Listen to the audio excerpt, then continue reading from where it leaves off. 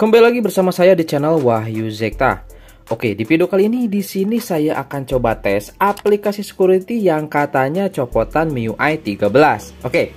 Nah, di sini saya masih menggunakan aplikasi security versi 5.6.9 yang sebelumnya. Di sini saya coba tes di Poco X3 Pro, teman-teman.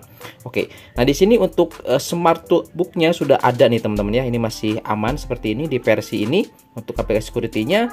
Dan di sini saya akan coba tes di aplikasi security yang katanya versi MIUI 13. Oke, nanti kita lihat apa saja yang baru.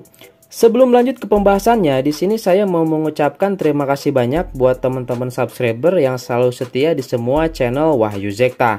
Dan juga di sini saya mau mengucapkan selamat tahun baru 2022.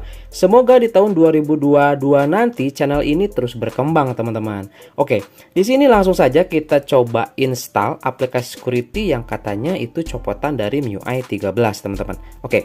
Nah, di sini saya sudah download. Bagi teman-teman nanti di sini yang mau coba install saya akan simpan nanti linknya di deskripsi box teman-teman. Oke, langsung aja di sini kita masuk ke file manager ya. Kemudian di sini langsung saja kita oke ada iklan ya. Kita langsung masuk ke aplikasi dan di sini saya sudah download ya. Ini dia versinya, versi 5.8.2 yang rilis di tanggal 26 Desember tahun 2021 ini teman-teman. Nah, ini dia ya. Oke, kita langsung saja coba install. Oke, install. Apakah dari uh, versi security 5.6.9 versi ini bisa terinstall? Kita coba lihat. Oke, ternyata aplikasi terinstall teman-teman ya. Ini kita selesai terlebih dahulu. Oke, kita back, kita back.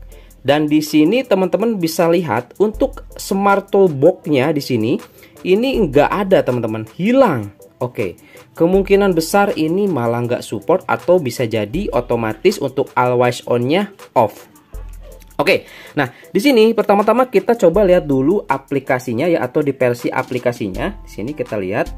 Oke, ini dia versi 5.8.2 21.12.26 01 ya. Nah, oke. Di sini kita coba uh, lihat terlebih dahulu teman-teman untuk aplikasi security-nya. Masuk ya. Oke, kita lihat apa saja fiturnya dan di sini hampir sama saja seperti ini seperti di versi sebelumnya. Kemudian kita coba di pengaturannya apakah sudah bahasa Indonesia. Oke, teman-teman, di sini masih bahasa Inggris ternyata. Kemudian kita coba lihat di bagian sini ya, di bagian kotak alat video apakah sudah Smart Toolbox atau tidak. Kita coba lihat. Oke, dan ternyata di sini kembali ke video toolbox, teman-teman. Jadi bukan smart toolbook lagi. Wah, ini sayang sekali ya. Ini saya coba tes di Poco X3 Pro.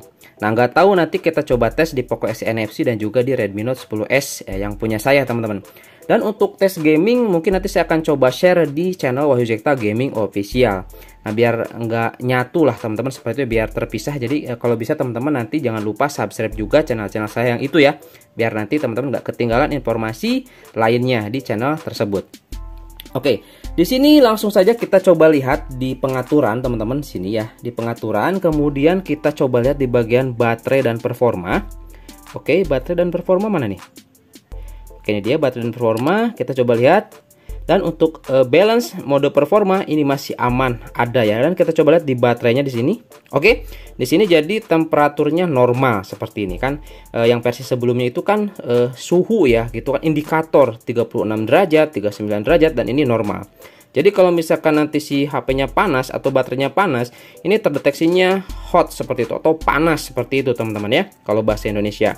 Nah, Kemudian di sini yang paling penting di sini uh, di game turbo nih. Kita coba lihat game turbonya di sini teman-teman apakah ada bug atau sudah nggak ada nih. Kalau misalkan sudah kita upgrade ke versi ini. Oke, kita langsung saja masuk di sini lewat fitur spesial ya. Oke, ini dia tadi ya kotak alat video sayang sekali nggak smart toolbox ya.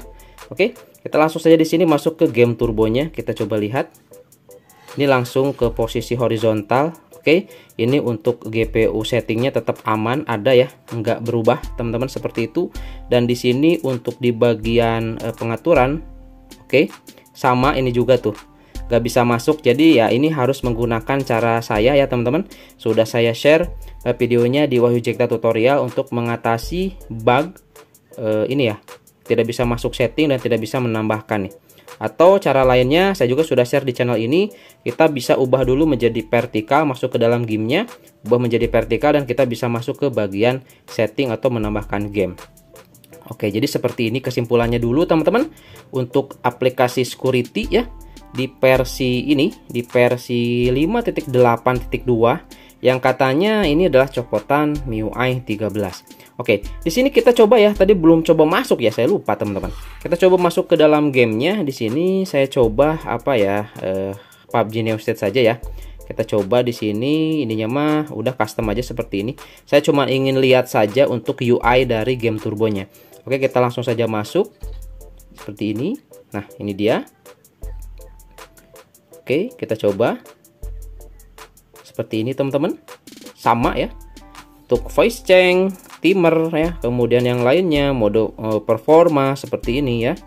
Nah, ini mode balance, performa ada ya di sini. Aman jadi seperti itu.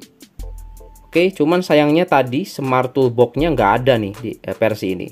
Kemungkinan juga nanti saya akan coba eh, downgrade lagi untuk versinya ini ke versi eh, sebelumnya versi 5.6.9 karena sudah merasa nyaman banget saya di situ terutama sudah ada fitur Smart Toolbox bisa kita always on atau bisa aktifkan selalu bahkan hal itu bisa membuat akses cepat seperti itu untuk kita melakukan vaulting window di aplikasi seperti itu teman-teman ya jelasnya. Oke untuk tes gamingnya mungkin saya rasa ini gak bakalan jauh berbeda sih ya dengan versi sebelumnya di versi 5.6.9 jadi mungkin nanti saya akan coba tes di Redmi Note 10s untuk di bagian versi ini terkait gaming test di channel Wahyu Zekta Gaming Official Oke, di sini saya akan coba downgrade saja lagi teman-teman ya ke versi sebelumnya. Barangkali juga di sini ada teman-teman yang nggak tahu bagaimana cara kembali lagi ke versi sebelumnya. Ini mudah banget sebetulnya. Jadi teman-teman nanti langsung saja di sini e, masuk ke sini ya ke aplikasi security seperti ini. Kemudian nanti langsung saja ke bagian informasi di sini seperti itu.